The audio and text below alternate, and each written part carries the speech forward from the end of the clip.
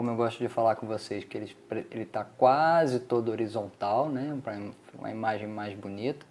Talvez se eu tivesse jogado o transdutor um pouquinho mais para cá para cima e tirado, é, eu talvez é, livraria um pouco dele ficar ligeiramente angulado assim. Na, na hora eu não lembro, porque às vezes a gente vai subir um pouquinho e dar de cara com uma costela aqui, né? Então, que impede, ou enfim. Mas se eu tivesse trazido o transdutor um pouquinho para cá, para que o, o, feixe de ultrassom entrasse mais perpendicular aqui na, na, região central do rim, aí ele ficaria bem horizontal. Então tá aí uma dica aí também para deixar o rim mais mais apresentável na foto, né? De preferência com uma ampliada, imagem ampliada para que fique aqui nos limites da imagem.